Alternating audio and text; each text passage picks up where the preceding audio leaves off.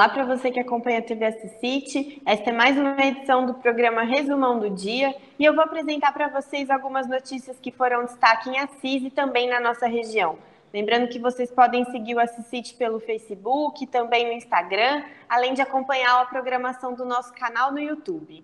Para começar, nós falamos sobre a previsão do tempo. Nesta quarta-feira, dia 17 de abril, a previsão segundo o Clima Tempo é de sol com muitas nuvens sem chances de chuva.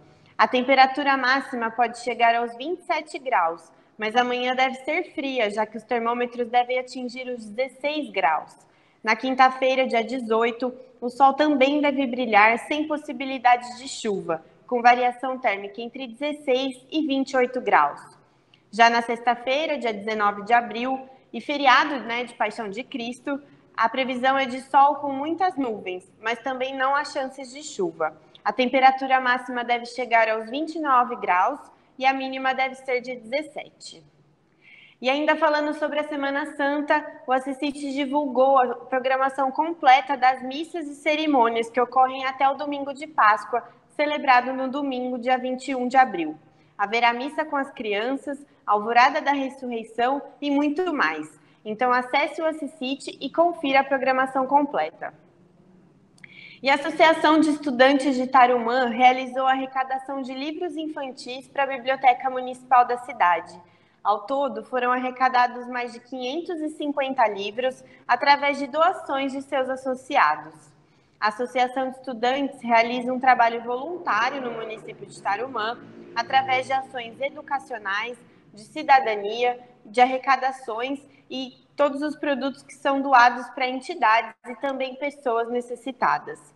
Os associados também participam de eventos culturais, recreativos, tudo com o propósito de estimular e propagar a cidadania em prol do bem da sociedade. Nós vamos para o intervalo rapidinho e já voltamos com o programa Resumão do Dia.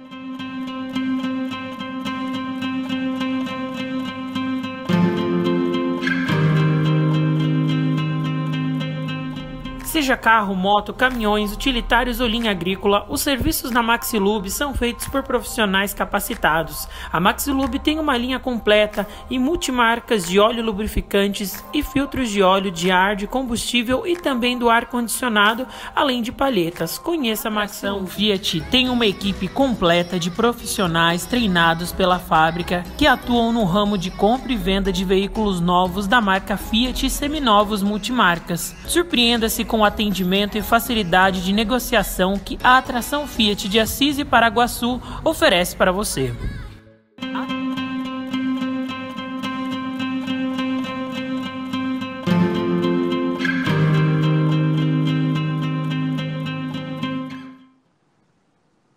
E voltando ao resumão do dia, o destaque agora é para a parceria entre o Fórum de Assis e a educação. A juíza Mônica Tucunduva é embaixadora do projeto Você é Insubstituível, uma vacina emocional contra o suicídio e os transtornos emocionais, do renomado autor Augusto Cury. Nossa equipe esteve presente no lançamento dessa proposta e você confere agora a entrevista completa.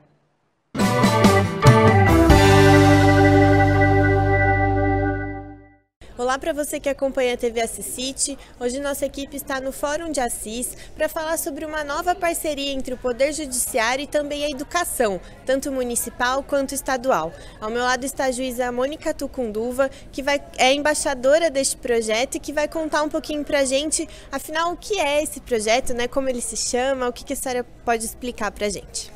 Boa tarde, muito obrigada pela Assisite estar acompanhando esse nosso trabalho novo aqui em Assis. Eu sou embaixadora desse programa aqui em Assis, o Você é Insubstituível. É um trabalho que foi desenvolvido pela equipe do Dr. Augusto Cury e contra, é, de prevenção contra o suicídio, contra bullying e transtornos psíquicos. E nós pensamos em fazer essa parceria com a educação, em primeiro lugar, para poder atender todos os profissionais da educação e também os adolescentes do ensino médio, para poderem ter acesso a esse trabalho, esse programa de, de prevenção. Como consiste? Esse programa ele foi desenvolvido pelo Augusto Cury, né, que é um dos grandes nomes do nosso país. E como que ele vai ser articulado? Como que as pessoas vão poder ter acesso? A nossa proposta é de multiplicação. Eu fiz o treinamento com o Dr. Augusto Cury me tornei uma embaixadora pela Associação de Magistrados Brasileiros e como embaixadora eu quis trazer para minha cidade. Então eu comecei também fazendo aqui no fórum com alguns servidores e mediadores e essa proposta de fazer essa multiplicação dentro das escolas. Então nós vamos levar para as escolas que se sentiram é, interessadas em participar, participar dessa parceria, nós vamos levar o programa que são em quatro módulos e aí cada representante de escola vai também multiplicar dentro da sua escola e assim poder atingir também os alunos.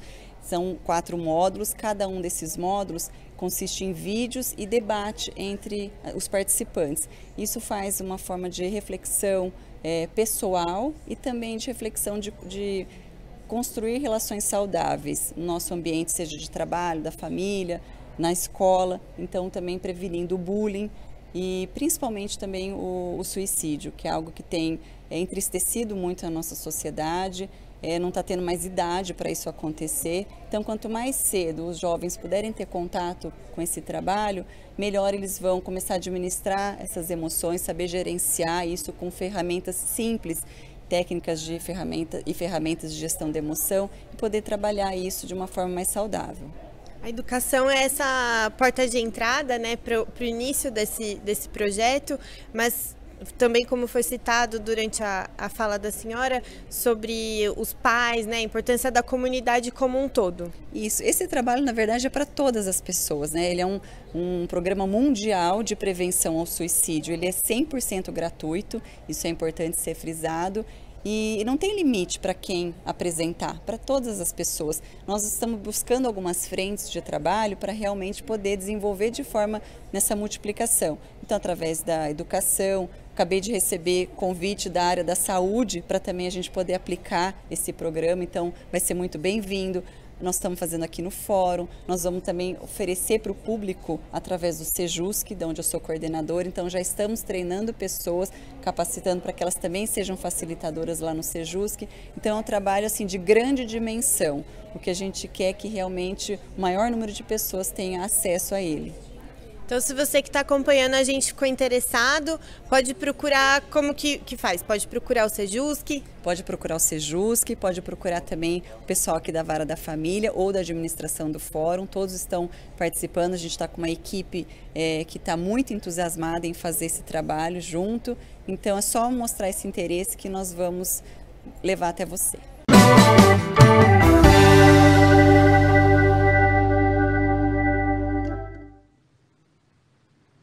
nesta segunda-feira, dia 15 de abril, o barbeiro de Paraguaçu Paulista, Renan dos Santos Cândido Martins, levou o nome da nossa região para uma grande disputa. Ele participou da Batalha de Barbeiros, organizada pela maior companhia do setor, durante um evento em São Paulo. Renan participou da categoria freestyle e fez bonito, principalmente porque ele estava com muita vontade de participar, já que no ano passado ele não conseguiu estar presente devido a um problema de saúde. O jovem morou durante alguns anos em Votuporanga e, part... e nesse mês deve retornar para sua cidade natal, onde vai continuar na carreira como barbeiro e agora com mais essa competição no currículo. Parabéns ao Renan. E nós encerramos mais uma edição do programa Resumão do Dia. Lembrando que vocês podem entrar em contato com a nossa equipe pelo telefone 18 99800 4144. Este número também é do WhatsApp, então se você viu alguma coisa legal, quer compartilhar com a gente, é só encaminhar para a nossa equipe. Continue acompanhando também o Assisite nas redes sociais, no nosso canal do YouTube e amanhã a gente está de volta. Tchau!